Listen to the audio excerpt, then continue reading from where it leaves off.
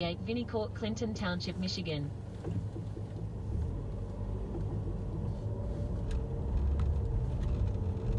Fully vaccinated and restrictions have been lifted, he still takes precautions. Generally speaking, when I go out to eat, I'm still trying to eat outdoors, especially since we have good weather and I prefer to eat outdoors anyways. He's still masking up in some indoor public spaces like the grocery store. Crowded areas like that with large numbers of people where I don't really know how many people are already vaccinated in that setting. From the Delta Dental Health Desk, Dr. Deanna Lites, WWJ News Radio 950. As the highly transmissible Delta variant of the coronavirus continues to create new COVID hotspots, one of the leading vaccine producers is about to ask permission to administer a third shot, a booster, to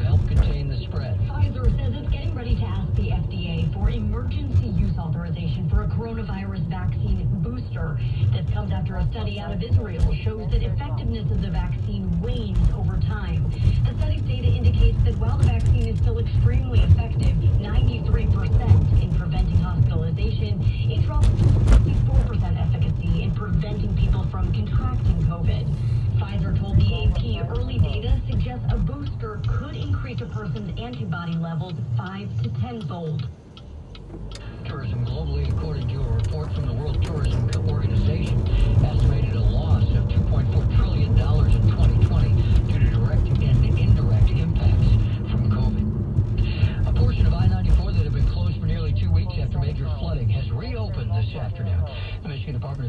Transportation finished their repair and cleanup work on eastbound I-94 between Michigan Avenue and West Grand Boulevard this morning.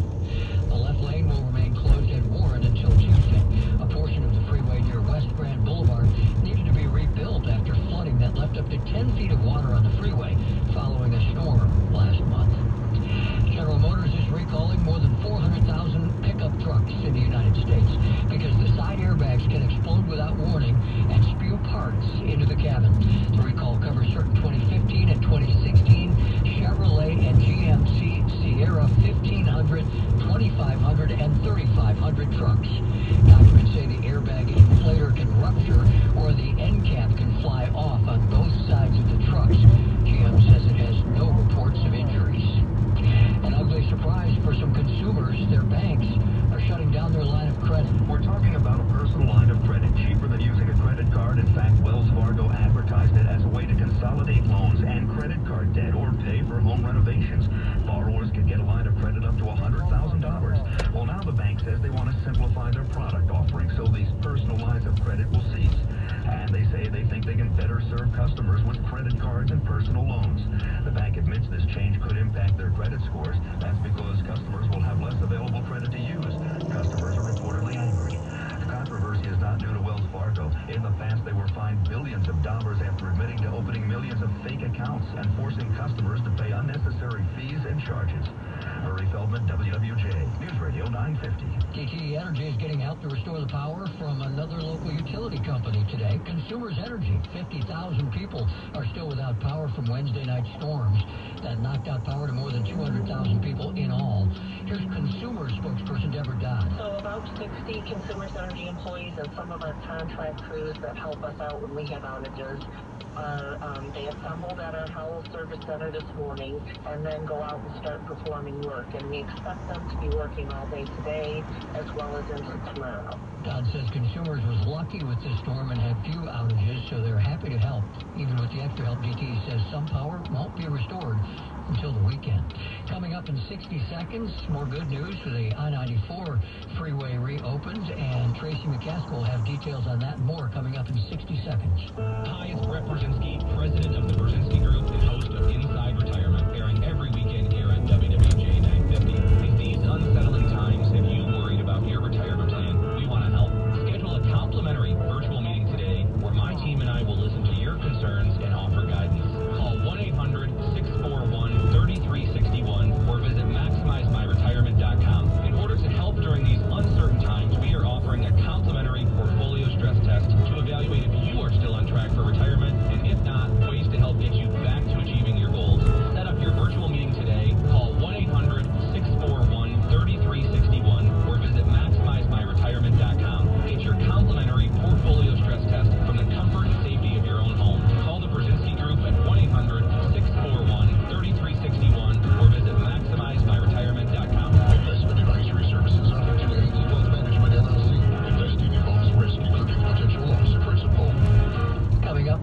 two minutes after we check traffic on uh, traffic and weather together. Pardon me. We'll have the uh, latest on the president speaking out about violent crime uh, facing a nationwide increase, and what he has to say about that in two minutes here on News Radio 950. WWJ News Time 138. Traffic weather together every 10 minutes on the 8th. Here is Tracy McCaskill. And Mike, this reports on third by Lewis Financial Mortgage, checking the AAA James Camp Sarah crash along westbound 696 after Dequindre has cars on the left shoulder. The good news here is just a minor delay right now. Down power line is closed north and southbound branches south of M59 in Clinton Township. And eastbound I-94 has reopened from Michigan Avenue in Dearborn I-96 beyond that flooding road repair. But a left lane closure is going to continue at Warren until Tuesday. Now, aside from that, brake lights along north and southbound M10 for the work there at Middlebelt, the left lane closure each way. North and southbound 275 remains a very slow go between I-94 and South Huron Road. One lane open each way through the first week of August. Traffic remains very slow near Eureka Metro Airport right now. That's traffic from the St. Joseph Birthday Health System Traffic Center. And now we get the updated AccuWeather forecast with meteorologist Brian Thompson. Well, this afternoon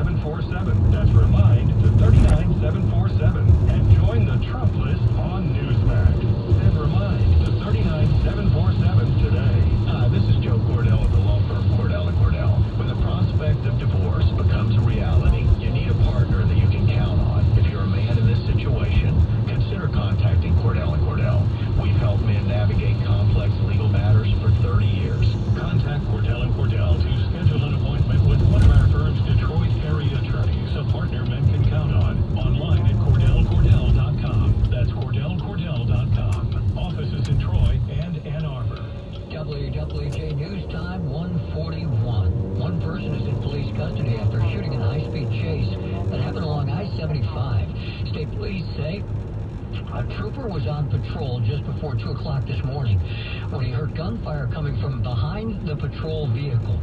Two SUVs then zoomed by. Troopers sped after with lights and sirens on, but the suspects kept going. One of the SUVs eventually lost a tire and stopped near Dearborn. It had several bullet holes in the windshield and back of the vehicle. The driver was taken into. The other SUV was last seen on the freeway. Police are now trying to determine the relationship between the two suspects. The incident remains under investigation.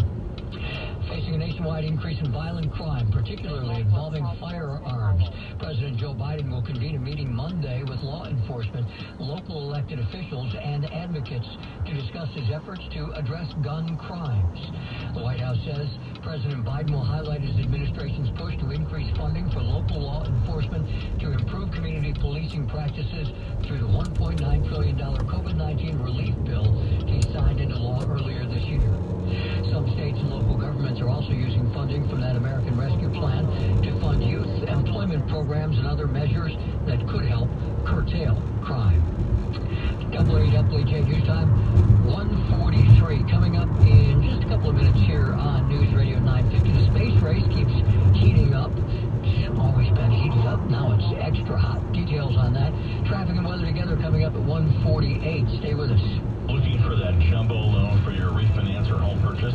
Call now. And remember, you're talking directly to me, Keith Lewis, 248-361-1500, or search for Lewis Financial Mortgage and read our great reviews. NMLS 160842.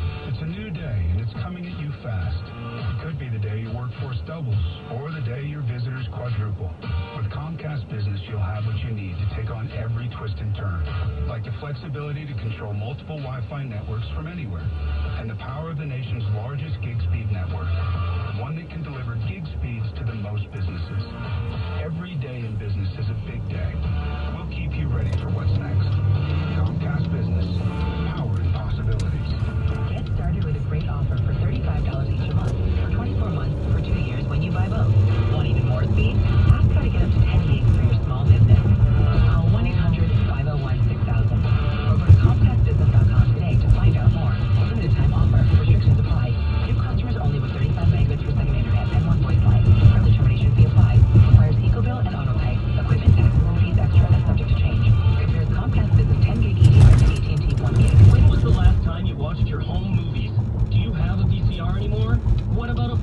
With technology constantly changing, most families don't have a way to enjoy their recorded memories, trapped on VHS, camcorder tape, film reels, and photos. That's why we created Legacy Box over a decade ago. Legacy Box is an affordable mailed-in kit to have your aging media digitized to DVD, thumb drive, or the cloud. Our trained technicians digitize everything by hand right here in the U.S. Imagine being able to easily relive weddings, graduations, baby's first steps, and more started future-proofing your memories today so you can gather the whole family together and begin the trip down memory lane. Plus, for a limited time, we're offering 40% off. Visit legacybox.com slash value to get an exclusive 40% off. Buy today to take advantage of this incredible offer and send in when you're ready. Go to legacybox.com slash value to save 40% off. legacybox.com slash value.